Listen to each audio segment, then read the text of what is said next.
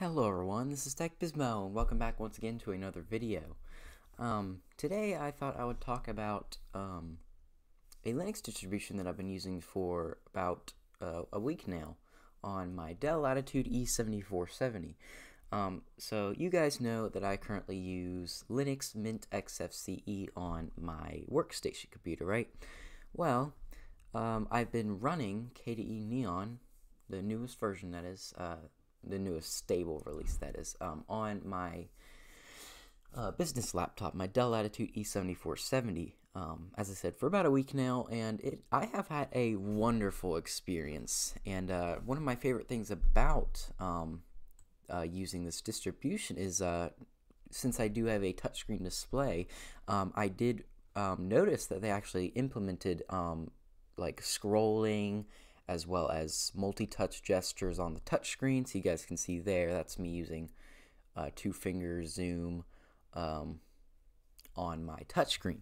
So yeah, overall it is a great um, it, it it it works really well uh, with my touchscreen. Now I don't know if this is actually like just a, a, a uh, KDE Plasma thing or even just a KDE Neon Linux distribution thing. Like I have not tried it on Ubuntu or Linux Mint, so I am completely unaware if this is a feature that is implemented on all other Linux distributions or even just Ubuntu Linux distributions.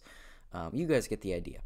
So yeah, I am unaware if it's just a KDE Plasma thing, or uh, I apologize, a KDE Neon thing, or KDE Plasma thing, or whatever the case may be. Um, but um, with that um, two finger zoom gesture and stuff, it really comes in handy. So I'm just going to thank uh, KDE Neon for that. So thank you, KDE Neon. I love the, how that feature is finally implemented into this, uh, into your distribution, into XFC, or I apologize, into KDE Neon, KDE Plasma, the KDE Plasma desktop environment. Alrighty, um, so yeah, let's uh, let's. I guess we can just go over um, a little bit about uh, KDE Neon. So yeah, as I said, this is the newest stable release of this distribution, and it is probably the least buggy um, KDE Neon release that I've ever used, um, and that's that that says a lot. That's a really good thing. Um, that there's not so much lag and so much bugginess. Like actually, uh, especially when I'm not recording, uh, there's no lag whatsoever when I'm opening menus and opening cl closing windows and moving around windows and stuff like that. So yeah, overall it is a very stable release of the KDE Neon Linux distribution. Um, I definitely recommend. It is a great Linux dis distribution if you want to get into sort of the Ubuntu um, sort of thing. Uh, I do actually prefer it as opposed to Kubuntu.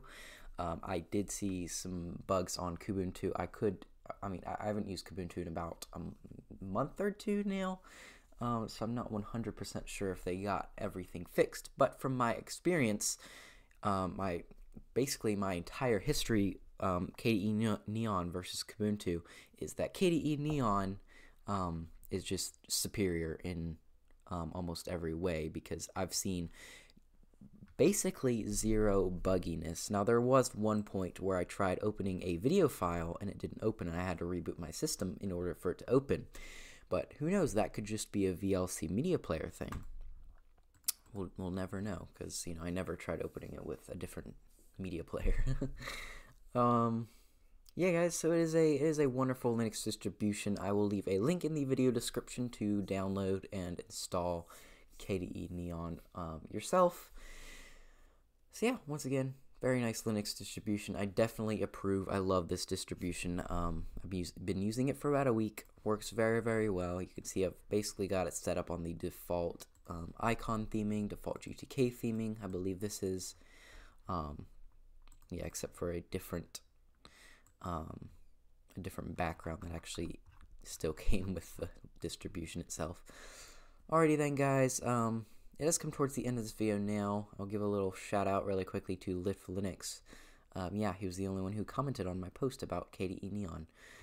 Um, alrighty then, guys. Thank you guys very, very much for watching this video. Please be sure to, uh, as always, comment, like, and subscribe, and I will catch you guys in the next one.